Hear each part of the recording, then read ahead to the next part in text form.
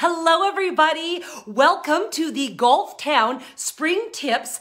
Uh, and the month of May are spring tips, especially for women's golfers. My name is Lisa Vlooswyk, nicknamed Lisa Longball, and I'll be hosting your clinic this evening. This is actually week 10 of our clinics. We did six weeks of regular clinics, and this is the fourth week of our ladies clinic. So thrilled to be here. Well, today's topic is going to be course management and hill lies. This class today will truly help you shave strokes off your game. You're going to love the tips today and it will really, really help manage your score. All right. We are going to dive right into the tips right away. So let's get talking. Number one, when you're talking about course management, the first thing you want to think about as you're teeing off on the first hole is what set of tees should you play?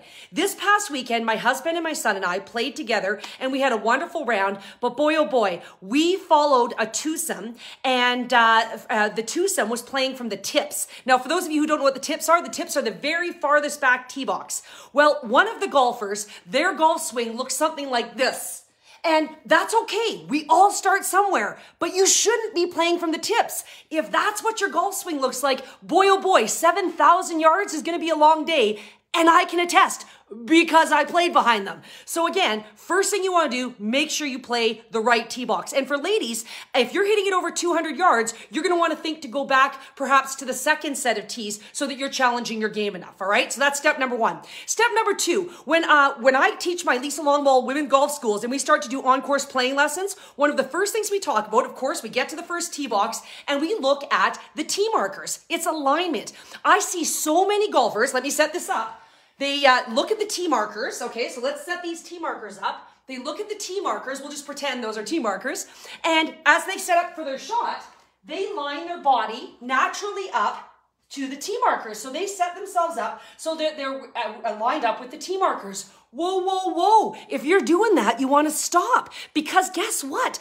Those tee markers are not aligned to where you're supposed to hit. Now, those tee markers are often placed down by our phenomenal uh, course superintendents who are spectacular. They cut the grass, they make sure our courses look wonderful, but their job is not to align the tee markers so that they perfectly go down the pipe, which means don't make the mistake of just lining your body naturally up to the tee markers because often often some those tee markers can be lined up straight into the bush not straight down the fairway where you want to go. So what you want to do is you want to do the alignment pre-shot routine that I taught you. If you missed it, go back to the Golf Town Facebook page. You'll be able to find my alignment video when we talked about the dominant eye, finding the intermediate target, lining your club face up to the intermediate target, and go from there. So don't align your body to the tee markers. Make sure that you align it to the target you want to hit uh, to on, on the fairway. All right, I just want to do a hello and shout out. I see uh, Gary Little has joined us, so thanks so much. And Peggy, great tip. I'm really glad you enjoy it. Uh, Chris, wonderful to see you again as well. And Alexander, so wonderful that you have joined us too. So welcome, welcome. All right, let's continue down our tips. Now, once I'm on the tee box, before I even hit my tee shot, one of the first things I do for course management, I look where is death? And what is death? Death is anywhere that's gonna make my score blow up. So that could be fescue, that could be water, that could be a ginormous bunker, it could be a big carrier, a cavern of something that I have to hit it over. So I'm always looking for what is death. And you want to aim away from death. And I know that sounds silly, but you'd be surprised at the number of golfers that don't intentionally aim away from death. They just specifically aim down the middle of the fairway. And that's a bad habit to get into because again, we don't always hit it like laser beams down the fairway, which means what if your tendency is to slice the ball and death is on the right, you need to make sure that you're aimed a little bit more left than you normally would be so that you can compensate for that. Now, the biggest mistake about aiming away from death, usually when people try to aim away from death, they actually go to the opposite side. So if death is on the right-hand side, they're going to the other side of the tee box to go from there. And that's not the way you need to do it. When you're aiming away from death, I want you to get on the same side as death. So get on the same side of death and aim away from it. So that's the key. When you do your pre-shot routine and pick your intermediate target, find the spot away from death by lining up on the same side of death, okay? So again, always looking to see what's gonna make my score blow up, water, fescue, traps, whatever it may be, and aim away from that. That will really, really help your score. I see that Tammy's joined us from Michigan. Hello, Tammy. And Liz is from Australia. She's a beginner golfer and loving the tips. That is fantastic. I so appreciate that. That's great. Okay, the next thing we need to do, and again, if you only took like three tips away from today's class, this is one of my most important tips. And that is, what is your juicy money distance? And what's juicy money distance? Your juicy money distance is what distance are you at that you're like, you, that you know that you're gonna hit the green, that it's your favorite distance, that when you're at that distance, you feel 99.9% sure you are gonna hit the green. For me, my juicy money distance is 80 to 100 yards. I know if I'm in that 80 to 100 yard range, nine out of 10 times, I'm going to be hitting that green. And I feel really confident on that, on that, uh, at that yardage. So here's the deal. You need to A, know what your juicy money distance is. And B, you need to hit to that juicy money distance. Now, what do I mean by that? Let's say you've got 200 yards in on a par four or par five you know that you can't hit any farther than 160 yards.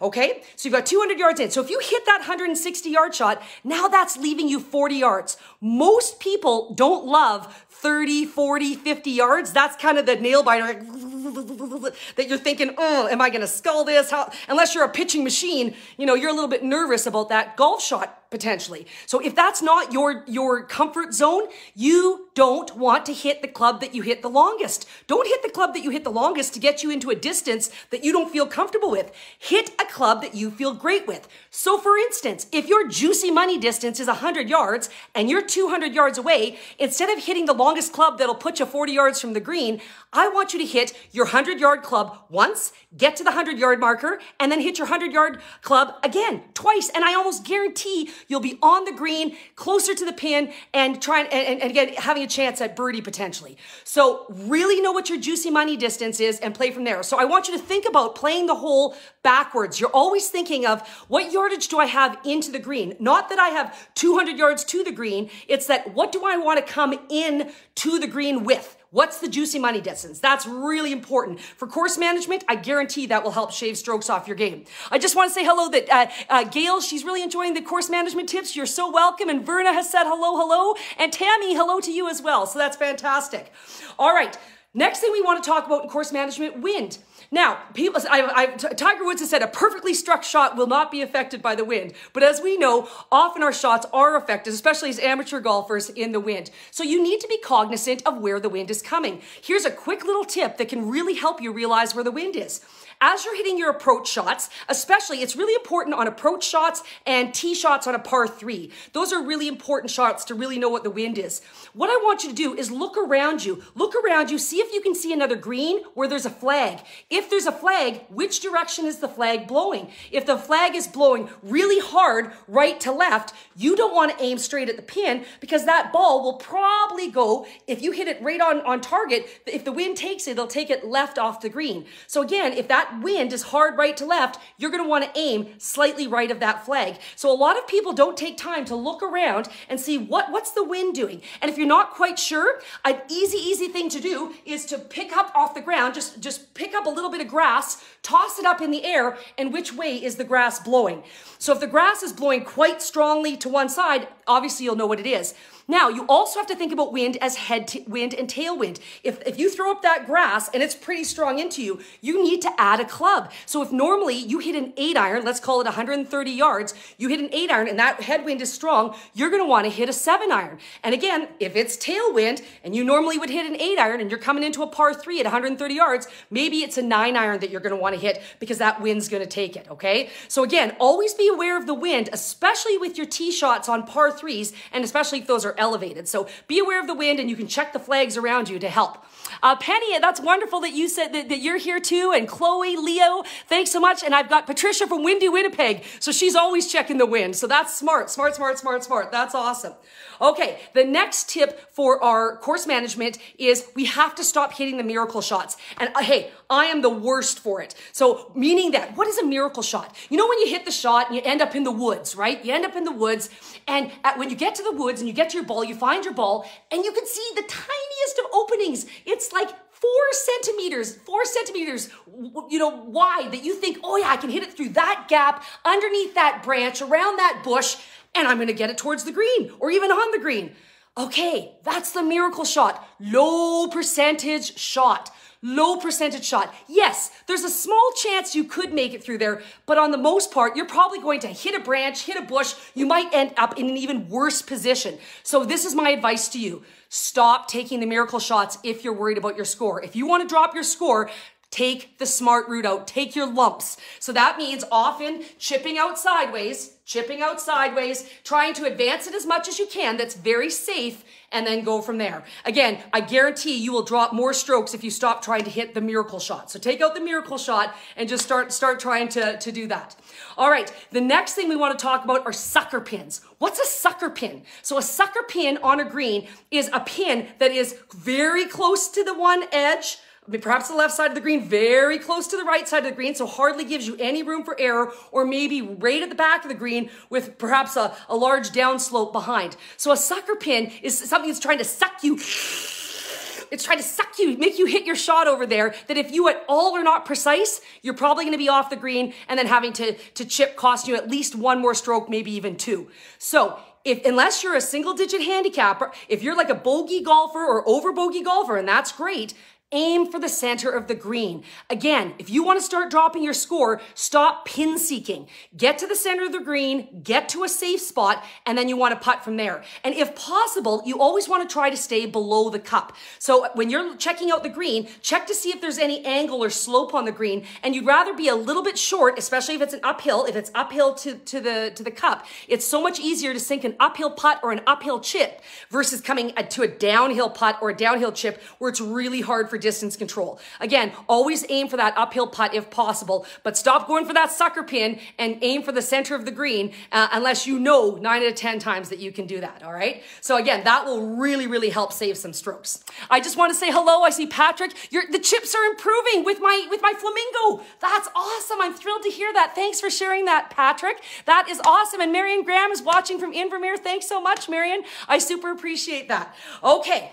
Now we're going to talk about this next topic, fairway bunkers. I already spoke about greenside bunkers. Now you know that one of my three top three tips that we talk about is turn the shirt, turn the pants, brush the grass, and finish your golf swing. In the brush the grass, basically in your full swing, you always want to brush what the ball is sitting on. So you want to brush the grass if it's on the grass, brush the tee if it's on the tee, and if you're in a greenside bunker, you better be brushing the sand or you're going to be skulling it out the other side. Now, that's not the same for fairway bunkers. Fairway bunkers are totally different. In a fairway bunker, you're trying to pick this ball clean. You don't want to brush the sand in any way, shape, or form. So let me give you the process for fairway bunkers. Now, uh, my coach, Paul Horton, who's a PGA of Canada award-winning instructor, has given me these tips. And again, please remember, I always say, please go see your PGA of Canada, LPGA, and PGA of America, or PGA, wherever you may live instructor. You always want to see the pros to help your game. So my coach, my PGA of instructor, these are the tips that he's given me to get out of my fairway bunker. Number one, you do always want to make sure that you have a, a solid stance in the bunker. So when you're in the bunker, you want to have a solid stance. But in a greenside bunker, you often try to squish your feet down so that you, you get nice and stable and solid in the sand. You don't want to do that in a fairway bunker. Why? Because it's going to bring you below level. And if you're below level, it's going to be really hard to pick it clean. So you don't want to squish too much down. You can do a little bit of a squish, but to counter the squish, what I want you to do, I want you to choke up on your club. What does it mean to choke up? Bring your hands closer to the metal. Even if you don't squish down in the sand, still do a little bit of a choke up, and that will help you pick the ball clean in a fairway bunker. Okay, so that's your stance. Now, it leads us to our next part, which is what is the cardinal rule of bunker shots? Get it out of the bunker. That's rule number one. Get it out of the bunker. So you need to make sure you pick a club that has enough loft to clear the lip. So you're always looking, especially in a fairway bunker, you want to look, what, how high is that lip? How high uh, do I have to make sure I hit this golf shot to get it out Cardinal rule, rule, number one, get it out. So this is really important. Now, this next tip, I think you are going to love. This next tip, check this out. This will help you with your club selection. I'm going to pull out, this is a five iron. This is a five iron. And I'm also going to pull out do, do, do, do, do, a pitching wedge. So I've got a five iron and a pitching wedge. If you want to see what the trajectory of your ball flight out of the bunker would be with a pitching wedge or a five iron or any of your irons, this is what you're gonna do. You're gonna take your club and you're going to step on it out of, this, out of the sand, tra- sand trap. So you're on the fairway. I want you to step on your golf club, on the face of your golf club. That will show you the angle that the ball is going to come out of the sand. Ballpark angle, the ball will come out of the sand. That's a pitching wedge. And this is a five iron. So as you can see the difference of the pitching wedge and five iron, look at that. That gives you an idea of what your, your launch angle will be out of the trap. Now, obviously you want to hit, usually in a fairway bunker, you want to hit the ball as far as possible, but don't be greedy. Don't be greedy. Make sure you have enough loft to get out. So I like to do that little trick where I step on the face of my, my, my iron, see what the loft would be, and I go up one club just to be safe, just to be safe. So if you're not sure what club to use in the fairway bunker, Check that out. Now, another club that most people don't think about in the fairway bunker, hybrid. If you've never hit a hybrid out of the bunker, do me a favor. Next time you play a full round of golf, I want you to drop a ball in the bunker and hit a hybrid out. And I tell you, it is gobsmacking. You will be stunned how well you can hit that uh, hybrid out of the bunker. Give that a try if you have a hybrid in your bag. So again, the tips for fairway bunkers, make sure that if you squish down just a tiny bit to get a, a to get a, a solid footing, but the more you squish down, the lower you go. So don't forget, we want you to choke up on your club uh, anytime you're in the fairway bunker because you want to pick it clean. You want to make sure you get it out. So make sure you have enough loft to get over that lip. And uh, again, don't be greedy. Don't be greedy. And I guarantee you'll be hitting better fairway bunkers than you ever have before. I just want to say hello to Karina. Yes, she likes that tip. And Kelly loves her hybrids. Awesome. So you got to do that. And Janet, she loves using her hybrid out of fairway bunkers. Boom. She's already got the tip. So that's awesome. So again, that's something that you want to try. That's great. All right. Now, the next thing we want to talk about is uh, marking your uh, marking your ball on the green. So we're going to talk about uh, first of all as we approach the green. I want you to be aware of the green. So as you're coming, it's it's fun to have a conversation as you're coming up the fairway and chatting and talking. But what I want you to do when you're coming up the fairway, take a look at the green as you're coming up. Where's the high side? Where's the low side? You're kind of picking off the green a little bit. And remember, I told you in our putting video when you're reading a green, you want to pretend you're pouring a bucket of water on the green. Where would the water fall to? So you're kind of checking out the contours as to where, what, what the green looks like. So always, that's a little course management tip. Kind of check it out as you're walking up to the green because that sometimes gives you a bit, a bit of a better view. Now, once you get to the green, you get to mark your ball. We talked about earlier uh, how to look like a pro and uh, often people are using the bedazzled ball markers and those are great. I told you not to use the button on your glove, but I said that a lot of pros really like using a coin. So often, sometimes maybe it's a coin from another country or just a coin that they enjoy using. So when you mark your ball, it looks super pro to mark it with a coin. Now here is a great story. When you're marking your ball, so if you're playing in a foursome, and especially, you know, if you're competing or, or even if you're just playing a, a, a, a afternoon round uh, with your buddies, and let's say someone's putting and your ball is in their way. So you go to mark their, your ball. That's perfect. You mark your ball, but your marker is right in the way of your playing partner. What you need to do is you need to uh, move your ball by remarking it. So for our beginner golfers out there or anyone who's never moved their ball, what I need you to do, this is your process. Okay? So if you're on the green and your playing partner has asked you to move your ball on the putting green, what you do is this. You have your marker already on the ground. So your marker is already on the ground. Then you need to find something that's, that's fixed. So something that's not moving. It's not a cart or anything that may move. It should be a tree. It should be the side of a house. It should be the edge of a fence. Something that's not moving. So what you want to do is stand behind your marker. Ask your playing partner, do you want me to move it to, to the left or to the right? Once they've answered that, ask, you know, how far they want you to move it. I want you to look at that tree, that fence post, something that's not moving, and you're going to mark it the width of your club head. You're to mark it the width of your club head to start with and see if that's enough for, for your playing partner. So you'll, you'll step down, you'll pick off that tree, you'll pick off that tree or the edge of the fence, you'll move your mark over, and then uh, you'll let your playing partner putt. Now, what a lot of people forget to do, they forget to move their ball back.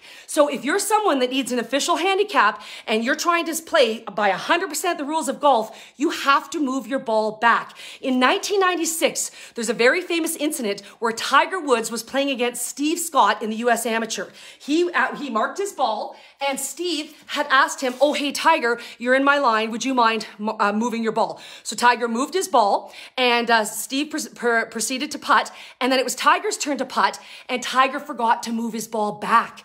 So before he putted, his playing partner Steve stopped him and said, Hey, Tiger, you forgot to move back, which isn't that cool? I love the honor of this game. That's one of the most beautiful things about the game of golf is, is helping your playing partners, the honor of it all. So he's, as Tiger was so appreciative, so he went back and he moved his ball back before he putted and he, he went on to win the match. Had Steve not told him, Steve would have won the 1996 US Amateur. So such a cool story. Ever since then, Tiger Woods, when he marks his ball, he always marks it with the head, oops, there we go, the head side up. And then if his playing partner asks him to move the ball, then he will flip his coin and put the tail side up. That's our toonie there for anyone from outside. That's our polar bear. You can see our little polar bear. So then he puts the tail side up. So when he goes to putt his ball, if he sees the tail side, he goes, oh, right, I moved my ball. So if you're someone that plays a lot of competitive golf and, and, or, and you forget that if you've moved your, your, your, uh, ball over. Use the head side uh, for your normal putts and flip it over and put the, if someone's asked you to move it and use the tail side. So that's just a little tip there. Something else that you want to do for course management, you want to make sure you mark your ball. How many times have we lost our ball in the deep rough, in the woods? Your playing partner says, hey, what are you hitting? And you're like, oh, a Callaway. And they go out there, but maybe it's not your Callaway. So again, you want to be always be playing fair if, if you're if you need to keep an official handicap and play by the rules. So a great tip to keep things moving along and for course management is you should be marking your golf ball. So at the beginning of the round, mark your golf ball. So I like to mark my golf ball with two black dots. So I always go underneath uh, the uh, chevron here on the Callaway. I always go uh, one black dot there, and then I go a second kind of diagonal black dot. That's how I mark my my my ball. I've marked it like that for years. And PGA Tour players, LPGA Tour players, uh, they all mark their balls. And so usually I'll mark three balls prior to the first tee box, just in case I lose one or two, so that they're pre-marked and ready to go. And then if someone finds my ball, I'll say, oh, does it have two black dots? And then I can find, I find out that it's mine. So again, by pre-marking your balls, first of all, it looks pro, but secondly, it will help keep the pace of play and, uh, and for course management so you know whose ball is who, or if you're all using the same brand of ball, now you know whose is who. So that's just a, another good uh, tip there. Uh, also, speaking of pace of play, it is really important um, that we do keep the pace of play. Again, I had another group that I was following, and they always sat for at least 45 seconds to a minute and a half at the green and we all waited before we could hit our approach shots because they, they clearly were sitting and marking their uh, marking their scores at the green. So for pace of play you always want to make sure you're marking your scores on the next tee box. We want to keep the what we want to keep the pace of play we don't want four and a half five hour rounds. So let's do our scorecards on the next hole. If you want to chat awesome. Don't do it on the tee box though. As you're walking down the fairway chat with your buddies share your stories then. And as you're playing partner partners get, getting set up to hit, you should already be going through your kind of pre-shot routine, picking your intermediate target, pulling your club out. As they're putting, you should be kind of reading your putt, kind of getting a sense, you know, where's your line? What's the intermediate target you want to hit it over? You should be doing that while your playing partners are doing that. And again, one of my biggest pet peeves, park your golf cart at the back of the green. So if you're using a push cart or a pull cart, that should be on the path to the next hole so that you're not backtracking. And if you have a power cart, don't park at the front of the green. Always park at the back of the green. And again, that's going to help the pace of play and everyone around you will appreciate it. So that is awesome. Now, for my beginners and my juniors out there, I have so many beginner and junior golfers that get a little bit intimidated by keeping score because it's kind of depressing writing down 10, 12, 11, you know, all these double digit numbers and an eight or a nine is quite exciting if you get it. And that's great. That's where you should be when you're getting started. And, uh, and you're, and you're just kind of getting to know the rules, but it can be a little bit intimidating. So you have to remember par. So a par 72 or a par three, a par four, a par five, that is for what a professional would shoot. So if you're someone who's a bogey golfer or a double bogey golfer, you shouldn't be showing up to a par three going, well, three's par. Well, no, if you're a double bogey golfer, five is actually par for you on a par three. And on a par four, six is actually par. And on a par five, it's seven. So manage your expectations. That will help you enjoy the game of golf so much more. This is something I recommend to my beginners and to my, to, to my juniors who are starting. So what I want you to do is if you're new to golf, I want you to mark your score with either a smiley face, uh, just a, a regular face, or, or, a sad face. So as you can see here, mark your score. Were you happy with that hole? Were you satisfied with that hole or were you disappointed with your that hole? That's a great way to start keeping score when you do start keeping score so that you aren't overwhelmed by threes and fours and fives, numbers that really shouldn't mean anything to you when you're first starting to golf. So, uh, um, Kathy, I see Heather, she said, yeah, we have pretty, pretty every time. She, lo- she loves my tips. Thank you so much, Kathy. I love hearing that. Susan, yes, it is so important. Pace of play is super, super important. And Melissa, she, uh, she uses the smiley face. That's great. That's what you should be doing if you're a beginner or a junior. Let's make this game fun. We want to keep people in this game for a lifetime. And as you get better, then start counting your score. Okay, so start with that. I think that'll be a lot more fun. All right, I want to talk to you about the mental side of game. People always say that the most important part of golf is between your ears, here to here, that that is. And I couldn't agree more. You know, I think that it's so easy to get down on ourselves and hard on ourselves. You know, I played the very first time I played at the Alberta Amateur, and that's for like the best female golfers in the province. I was so nervous. A lot of these girls were NCAA players, and I, I didn't come to golf until my 20s, and I was a 30, 40 plus handicap when I started. So I was so nervous playing with these girls that were so good. I took a 10 on the first hole at the Alberta Amateur. Yeah, 10. For those of you that are new to golf, that's not a good score. No, not good, not good. And I was so humiliated and I was so embarrassed. And you know what? I let this get between me because here's the thing. In golf, one bad shot is just that. It's one bad shot. Don't let that one bad shot explode into a 10, a 12, whatever it may be. Hit your bad shot Give yourself five to 10 seconds to go, oh, be mad at yourself for five to 10 seconds, and then it's over. If you are a club thrower and you're swearing and then you're a big pouty pants for two to three holes, I'm not playing with you. Because guess what? I have, I have better things to do in my life than play with people that aren't good enough to be mad at their golf swing. I know pros who, who are the best in the world who would never be that upset about their golf swing. And they, they could be because they're the best in the world. So, hey, weekend warrior, if you have a bad golf shot, it's okay. Let it go. Suck it up, five to 10 seconds, be mad at yourself, and then go, okay, let's try to chip in. Let's try to hit the pin. You know, then you have that positive attitude. So changing that attitude around can really drop your score quickly. And so again, having one bad shot, just let it be one bad shot. And then remember, think about the last time you chipped in or drained a 40 foot putt. If you do that, that can turn around your, your, your game in a hurry. My uh, PG, uh, PGA of Canada professional, Paul Horton, he works with many elite juniors uh, who have gone on to NCAA and professional careers. And he gives two main tips for, uh, for the mental side of golf. One of his main tips is he said, when you're playing golf, he said, he said, play golf don't play golf swing. And what does he mean by that? When you're playing golf and you're playing 18 holes, just go out and play. Trust your swing. And yes, you're going to make a couple of bad shots, but don't make a bad shot and go, oh man, was that my left foot? Was that my elbow? Was that, should I be doing this? Don't overanalyze it. If you're playing golf, play golf. Don't play golf swing. And his other tip for the mental side of golf is he said that you need to make sure that you hate bogeys more than you like birdies that you hate bogeys more than you like birdies. And what does that mean? That means that if you are you're going for the birdie, you're going for the miracle shot through the trees, you know, over this hill, over the canyon, this and this and that, that's a low percentage shot because you're trying so desperately to get the birdie. If you just kind of take your lumps and say, okay, uh, I, I, I, I'm going to try not to bogey. I'm going to try not to let my score blow up. I'm going to worry more about that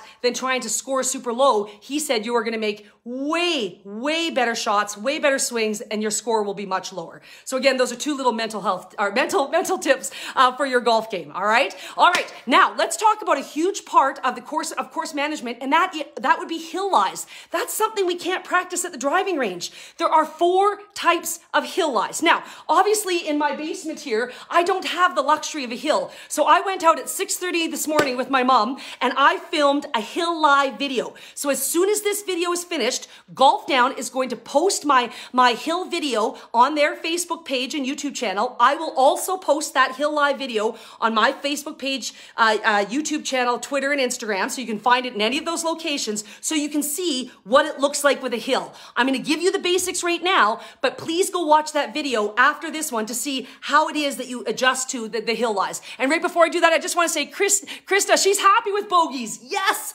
that's a great attitude. I love it. And again, manage your expectations. I think that's absolutely fantastic. And I see that Janet is watching. Thanks so much. And Lee as well. Okay, let's talk about hill lies. There are four types of hill lies. There is the uphill lie, There is the downhill lie. Then there's the side hill lie where you've got the ball above your feet and, and the side hill lie where you have the ball below your feet. Let's talk about the uphill lie first. On the uphill lie, the slope of the hill is going to give you added loft. So what's going to happen is it's going to launch the ball higher. So when you're on a hill lie, first thing you want to think about is club selection. So again, normally, let's say you hit your eight iron 130 yards. Um, if you normally hit an eight iron, the hill's going to launch it higher and not travel as far. So you're going to want to actually hit a nine iron. You're going to go down a club. So because you're, uh, sorry, up a club. I apologize. I got all excited there. So it's going higher and not traveling as far. I'm sorry. You need to add a club. So instead of hitting an eight iron, you need to hit a seven iron. You need some more distance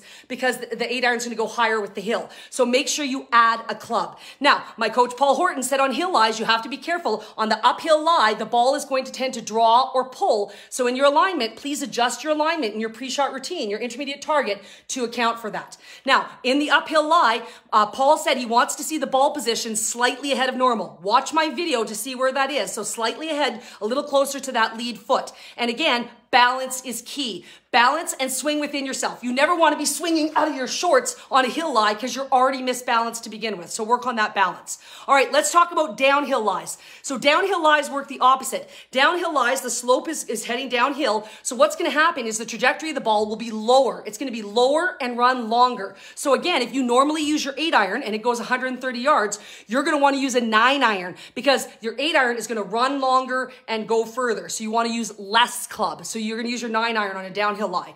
My coach Paul said on a downhill lie, that ball is going to tend to slice a little bit. So you want to be a little bit careful. It's going to tend to slice. So you want to adjust your alignment in accordance to that. So be very careful with that. And again, on the ball position, ball position on uh, that downhill lie, you want to play your ball back in the stance, closer to your back foot. So watch the video that I'm about to post closer to your back foot so that you're going to have ball first contact in the impact. Now, the last two types of uh, hill lies are going to be the side hill lies, where the ball is above your feet and the ball is below your feet. What's really important there, ball position is the exact same. So the exact same is the same way we've taught you is feet together, move the lead foot the width of a club head, back foot to comfort. So same ball position uh, for side hill lies, but you're going to lose your balance a lot easier. So in the side hill lies, what's going to happen is you're going to make a swing and it's going to be a lot, you're going to find, find that you lose your balance a lot. So I want you to pretend, here's a great tip, anytime on any of your hill lies that you're having balance issue, pretend that you're standing on a Bosu ball. I want you to pretend that your feet are on top of a Bosu ball. Your, your, your toes are squishing into that Bosu ball. You're to kind of have that sense right before you do your takeaway. So squeeze your feet and pretend you're standing on a Bosu ball right before you take your takeaway. That will help you stay more balanced. It's also very important that you brush the grass. So you have to, have to, have to take a practice swing. On any of your hill lies, take a practice swing because if you don't brush the grass in your practice swing, you are going to cold top this ball and it will not be successful. So again, on when that ball is above your feet, that ball's closer to you. So you're probably going to need to choke up on your grip, which means come a little bit closer to the metal. You'll probably have to choke up on it to brush the grass. And again, on the other way, when the ball's uh, away from you, your side hill lie and the ball is uh, below your feet, then you have to focus so much on keeping that chest level. It is so easy when you're swinging to lift that chest to try to maintain balance. So really keep that chest level. Really focus on a level chest and brush the grass. So you'll want to watch those uh, that video that I posted on Hill Lies. You'll see it right after this video. You can check any of those channels uh, for that. So hopefully all of these tips have helped you with course management. Um, I can see Golf Town has uh, thrown the link there. So how to hit uphill lies. So Golf Town has already posted the link in there, so you can see that. So check that out. But again, you can check it out on all the social channels.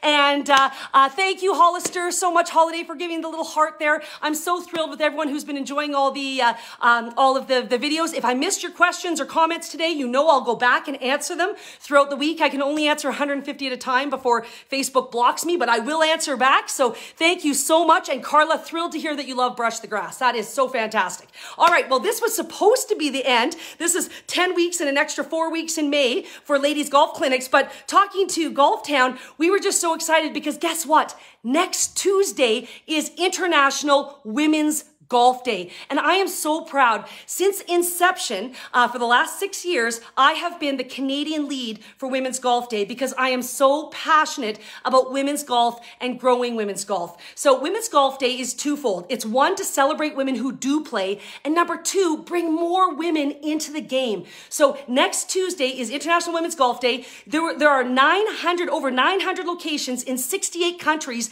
around the world. Normally in Canada, we would have so many golf courses running women's golf day events everywhere where there's clinics and there's cocktail parties and, and fashion shows and so many cool things that are doing. Of course, due to COVID, we've had to pivot a little bit. So we're not, we're kind of, a lot of courses are either doing it virtually or just a little quieter this year. So, but we, we still want you to celebrate. So I want you to keep an eye out because Golf Town is going to do a special contest. They're going to announce it this upcoming Friday. There's going to be a great prize. That's all I'm going to say. Great prize. It might have to do with wearing the official Women's Golf Day colors, red and white, which happen to be Canada's colors. So that works out great. We want you to wear red and white on Women's Golf Day, Tuesday, June 1st. And you'll hear more about that contest on Friday. So check out the Golf Town social media channels. And I will be here next Tuesday, June 1st for a bonus clinic for Women's Golf Day. It will be a one hour clinic. The first half hour are going to be my greatest tips, meaning that I have showed you brush the grass. I have showed you turn the shirt, turn the pants. I've showed you finish the golf swing. There's a few of these things, but I haven't put it all together in one video. So I'm going to do the 30 minutes of the greatest tips from all 10 weeks of these videos in that first half hour, just so it all makes sense to you. And the last half hour will be question and answer. So if you have any questions for me, I welcome you to, you can either send a direct message to Golf Town to their Facebook page. Feel free to do that. You can also uh, send it, write it in the in the chat here. That I, I will go back and and find all the questions this past week to see what questions you have, and we'll answer those questions. So you can definitely put them in there. And um, uh, Golf Town is going to uh, be doing a post on Instagram. So if you if you prefer to ask the question on, on the Instagram post, that won't be until Friday, but you're welcome to do that. So many different ways to ask a question, or you can reach out to me personally. Uh, you know that my Facebook is uh, Facebook page is Lisa Longball. My Twitter is at Lisa Longball. My Instagram is at Lisa Longball and YouTube. And of course, my website is lisalongball.com. I've had so many people asking about my golf schools. So if you'd like more information, if you go to my website, there's a little subscriber newsletter, so you can uh, you can sign up there. And I will. I'm sending out an email this upcoming Saturday on all my golf schools. So you're welcome to do that, or ask me questions uh, for next Tuesday, June 1st, Golf Town's Women's Golf Day. So I can't wait to celebrate Women's Golf Day with you next Tuesday. I'll be wearing red and white next Tuesday. I can't wait to see you and I look forward to all your questions. So thanks very much for joining me tonight, everyone. I hope I've helped you with your course management and hill lies and they can help you lower your scores. Thanks so much. And Kelly, thrilled that you enjoyed Women's Golf Day Palooza today. That's right. Today was Women's Golf Day Palooza. If you go to the Women's Golf uh, Day website, which is www.womensgolfday.com, you can go to their YouTube. There'll be a YouTube link or go to their YouTube and you can watch Women's Golf Day Palooza today in which Barbara uh, and Jack Nicklaus uh, kicked it off with a welcome. Annika Sorenstam did an incredible interview. There were wonderful panels. I was honored. I had a small video on there as well talking about Canadian golfers. So if you have a chance, today was Women's Golf Day Palooza, which was the kickstart to the one week till Women's Golf Day. So thrilled that you enjoyed that. And you can, anyone who missed it can go back and watch. Thanks so much, everyone. Have a great evening, and we will see you next week on Women's Golf Day.